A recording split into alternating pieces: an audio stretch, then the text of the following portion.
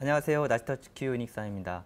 아, 오늘은 전국 대부분 지역에서 흐리거나 구름 많은 날씨를 보였는데요. 최저 기온을 보면 어, 서울 16.1도를 비롯해서 많은 지역에서 선선한 날씨를 보였고 어, 일부 내륙에서는 10도 안팎까지 떨어지면서 좀 쌀쌀한 날씨를 보였습니다.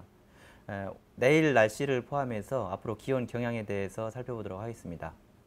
어, 먼저 모식도를 통해서 그 내일 전반적인 날씨를 살펴보겠습니다.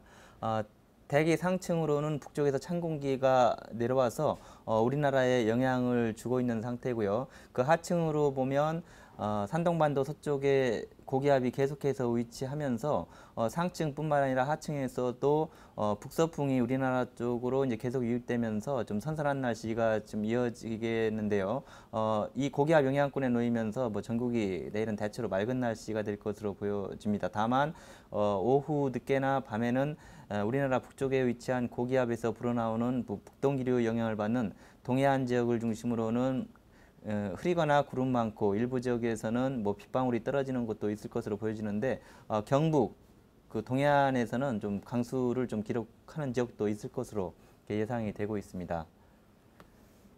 어, 다음은 그 기온이 선선한 날씨가 이제 선선한 이유와 그 앞으로 얼마나 그 이 선선한 날씨가 이어질지 좀 알아보기 위해서 어, 상하층 기류 흐름도를 통해서 좀 살펴보겠는데요.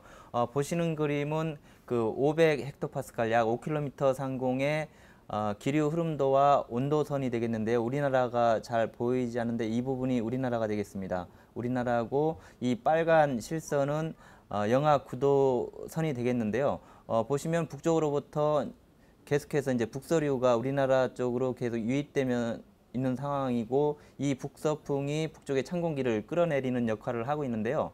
아, 이, 내일 보시면 어, 이 차가운 공기 계속해서 이제 북서풍이 불면서 이 온도선 영하 9도선이 더 이제 내려간 것을 볼 수가 있는데요. 어, 모레도 마찬가지입니다. 모레도 어, 북쪽에서 계속해서 이제 찬 공기가 남하하면서 어, 우리나라는 대기 상층에서 어, 차가운 공기의 영향을 계속해서 이제 받을 것으로 이렇게 보여지고요. 어, 상층을 살펴봤는데 대기 하층 약 1.5km 상공의 뭐 같은 그림 기류 흐름도와 그 온도 분포선을 보시면 어, 이 붉은색 실선은 그 12도, 영상 12도 선을 나타냅니다. 12도 선이 어, 우리나라 좀 북쪽에 위치해 있는 상태고 어, 북서풍이 유입되면서 북쪽으로부터 찬 공기가 우리나라 쪽으로 계속해서 그 내려오는 그런 상황인데요. 어, 내일 보시면 어, 내일도 마찬가지로 북쪽에서 계속 기류가 우리나라 쪽으로 유입되면서 찬 공기를 계속 끌어내리는 에, 그런 상황이고 온도 분포 온도선을 보시면 12도선이 에, 점차 더 남쪽으로 좀 처져서 내려와 있는 것을 확인할 수가 있는데요.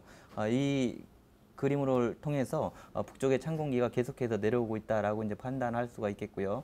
어, 그리고 9월 1일 모레 자료를 보시면 어, 우리나라 부근에 뭐 기온 변화는 크지 않은 상황이고 어, 축 자체는 동쪽으로 이동했지만 계속해서 북쪽에서 찬 공기가 우리나라로 좀 유입되고 있는 상황이기 때문에 어, 기온은 뭐 일단 모레까지 보시면 음, 최저 기온은 좀 낮게 형성될 가능성이 높은 상황이고 뭐 최고 기온은 고기압 영향권에서 이제 맑은 날씨를 감안한다면 그 일사 효과가 있기 때문에 뭐 낮과 밤의 기온차가 크게 나타날 것으로 좀 예상해 볼 수가 있습니다. 그리고 뭐 주말까지도 이러한 상태는 지속될 것으로 예상이 되기 때문에 뭐 주말까지도 선선한 날씨는 계속 이어질 것으로 이렇게 예상이 되고 있습니다. 아, 오늘의 날씨 터치 큐는 뭐 내일 날씨가 특별한 이슈가 없기 때문에 아, 이것으로 좀 마치도록 하겠습니다. 즐거운 저녁 시간 보내시기 바랍니다. 감사합니다.